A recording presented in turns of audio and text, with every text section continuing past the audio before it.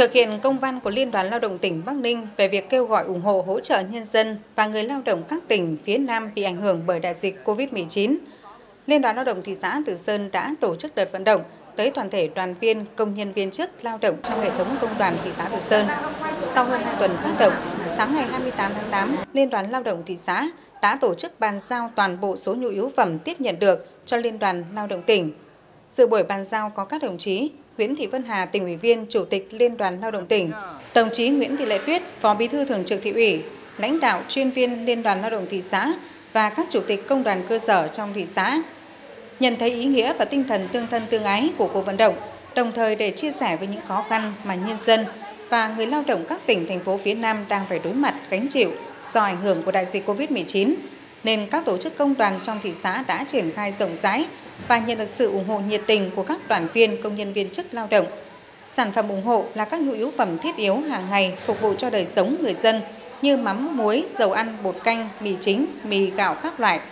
đường, sữa, cổ quả đóng hộp, khẩu trang vân vân. Ngay sau khi ờ, nhận được ờ, công văn của Liên đoàn Lao động tỉnh, Liên đoàn Lao động thị xã thì ờ, ban chấp hành công đoàn dân vận đã chủ động và tuyên truyền trong ờ, cán bộ công chức, công đoàn viên trong ờ, chi đoàn công đoàn để phát động chương trình ờ, ủng hộ về miền Nam. Thì ngay sau khi được phát động thì các đoàn viên trong công đoàn rất tích cực tham gia hưởng ứng và mỗi người mỗi người ít nhất tùy tâm nhưng mà mỗi người ít nhất một ngày lương để cùng với lại đồng bào miền Nam mà vượt qua cái giai đoạn khó khăn và đặc thù với đối với công đoàn dân vận là công đoàn khối mặt trận và các đoàn thể thì đây là cũng cơ quan mà thường xuyên liên tục tham gia hưởng ứng các cuộc vận động để ờ, phòng chống dịch covid cũng như là ủng hộ các đồng bào ờ, người dân bị ảnh hưởng của dịch covid Cuộc vận động đặc biệt được các tổ chức công đoàn khối hành chính sự nghiệp, khối trường học và khối các doanh nghiệp trong thị xã triển khai hiệu quả với số lượng nhu yếu phẩm ủng hộ lớn. Tất cả các loại nhu yếu phẩm đã được tập kết tại trường tiểu học Đình Bảng 1, đảm bảo thuận tiện cho việc tiếp nhận và vận chuyển. Công đoàn trường trung học cơ sở Từ Sơn cũng hưởng ứng rất là mạnh mẽ. Chúng tôi đã phát động ủng hộ được một tấn gạo à, để ủng hộ đồng bào miền Nam à, trong cái thời khắc rất là khó khăn như thế này thì à, mỗi đoàn viên công đoàn trong trường đều xác định với tinh thần à, à, tương thân tương ái để cho đi là nhận lại thì chúng tôi cũng huy động à, rất nhiều các ừ, à, lực lượng à, của đoàn viên công công nhân viên trong trường ủng hộ ờ, để giúp một phần nhỏ cho đồng bào miền Nam. Như chúng ta hàng ngày cũng đã xem thì cái tình hình dịch bệnh Covid ở uh, các tỉnh phía Nam thì diễn biến ra rất là phức tạp và người dân thì rất là uh, khổ và vất vả để chống chọi với lại uh, dịch bệnh. Thế do vậy mà thực hiện lời kêu gọi thì uh, sau khi được phát động thì đoàn viên công đoàn nhà trường cũng tham gia hưởng ứng rất là tích cực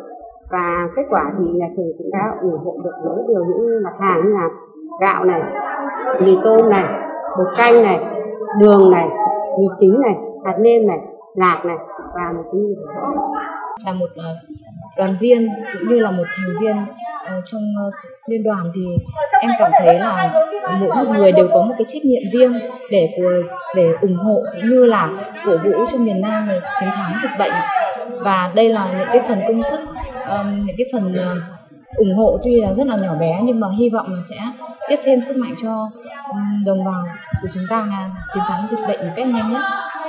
Kết quả sau hơn 2 tuần phát động, Liên đoàn Lao động thị xã đã nhận được gần 2.000 thùng mì, hơn 10 tấn gạo, hơn 6.000 gói bột canh, gần 600 kg đường, hơn 11.000 hộp khẩu trang, cùng nhiều nhu yếu phẩm khác với tổng trị giá hơn 405 triệu đồng.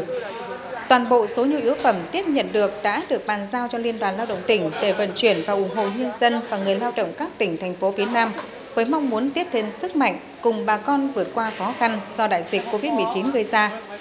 Đồng chí Nguyễn Văn Giang, Chủ tịch Liên đoàn Lao động thị xã cho biết.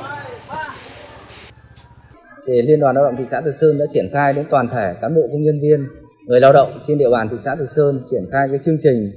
chung tay cùng với lại Liên đoàn Lao động tỉnh ủng hộ những người ờ, lao động và nhân dân phía Nam bị ảnh hưởng đại dịch Covid-19 à, ờ, Liên đoàn lao động thị xã Từ Sơn triển khai với chương trình chung tay đối với lại những người bị ảnh hưởng nặng nề trong cái thời gian đại dịch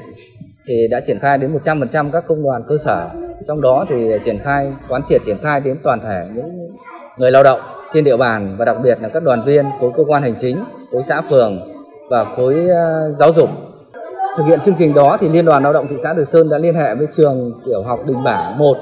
và mượn cái khu nhà đa lăng để tập kết các nhu yếu phẩm cơ bản là gạo, mì tôm và dầu ăn, mì chính, bột canh, các nhu yếu phẩm cần thiết. Và để tập hợp nhanh nhất thì Liên đoàn Lao động thị xã Từ Sơn đã tập hợp những người lao động